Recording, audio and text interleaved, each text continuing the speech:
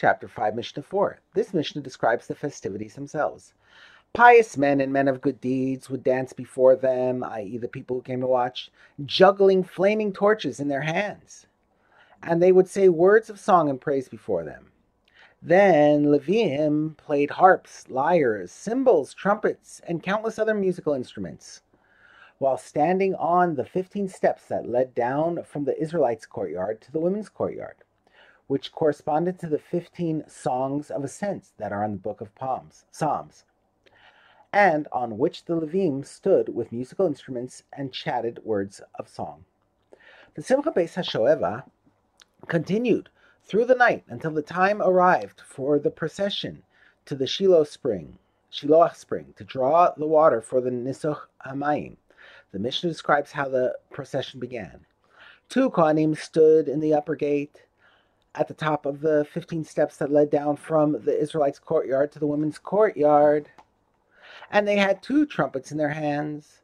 When the announcer called out, they blew a tekiah, one long note, and a teruah, a set of three short notes, and a tekiah on their trumpets. And they began to go down the steps. When they reached the tenth step, they again blew a tekiah, a teruah, and a tekiah.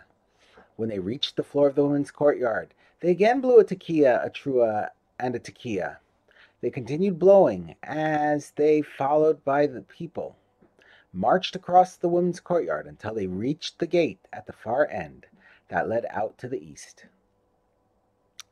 When they reached the gate that led out from the east of the women's courtyard, they turned their faces to the west so that they faced the sanctuary, and they said, Our forefathers stood in this place with their backs to the sanctuary of God, facing east, and they bowed eastward toward the sun.